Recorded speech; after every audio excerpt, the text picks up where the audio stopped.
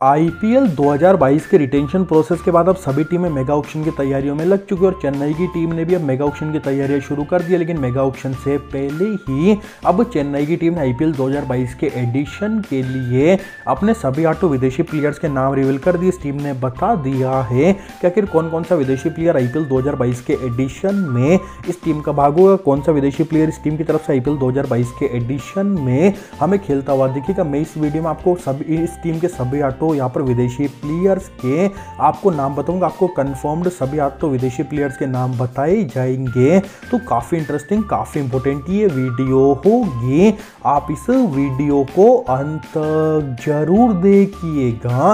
लेकिन उससे पहले अगर आप भी ये क्रिकेट के बड़े फ़ैन तो हमारी इस वीडियो को लाइक करके चैनल को सब्सक्राइब ज़रूर करें, ताकि आपको क्रिकेट से जुड़ी जानकारी सबसे पहले मिलती रहे। अब हम बात करते हैं कि कौन से आठ विदेशी प्लेयर आईपीएल 2022 के एडिशन में हमें चेन्नई की तरफ़ से देखने को मिलेंगे, लेकिन उससे पहले आपको बता दें कि इस टीम के पास मेगा ऑप्शन के लिए अब 48 करोड़ का पर्स बैलेंस बचा है, जहाँ पर 48 करोड़ में इस टीम को यहाँ पर सात विदेशी प्लेयर को और चौदह इंडियन प्लेयर्स को यहाँ पर मेगा ऑप्शन में परचेस करना होगा, जहाँ पर जहाँ पर इस टीम ने चार प्लेयर्स को रिटेन किया जहाँ पर तीन इंडियन प्लेयर को, एक विदेशी प्लेयर को इस टीम ने रिटेन किया इसी वजह से अब इस टीम को मेगा ऑप्शन में इक्कीस प्लेयर को परचेस करना होगा। एक टीम मैक्सिमम आठ ही विदेशी प्लेयर अपने स्क्वाड में रख सकती है। इस टीम ने मोइन अली को तो ऑलरेडी यहाँ पर अपनी टीम में रिटेन किया। अब ये टीम सात और विदेशी प्लेयर्स को अब मेगा ऑप्शन में परचेस कर पाएगी। इस टीम ने अपने उन सात प्लेयर्स के अब नाम रिवील किए, जहाँ पर मोइन अली के बाद इस टीम ने बताई कि ये टीम ट्रेंट बोल्ट को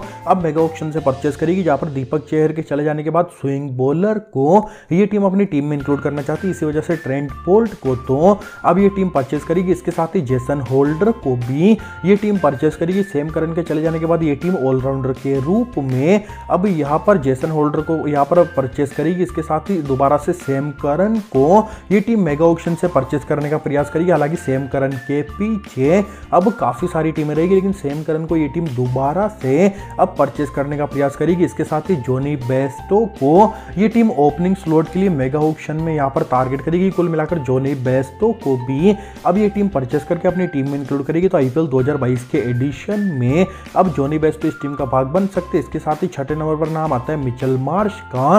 दरअसल करंटली ऑस्ट्रेलिया के इन्फॉर्म बल्लेबाज और गेंदबाज मिचल मार्श को, यानी ऑलराउंडर मिचल मार्श को ये टीम मेगा ऑक्शन में अब परचेस करने का ट्राई करेगी। तो मोस्ट लाइकली आईपीएल 2022 के एडिशन में हमें मिचल मार्श भी इस टीम की तरफ़ से खेलते हुए दिखेंगे। इसके बाद नाम आता है डेविड वार्नर का।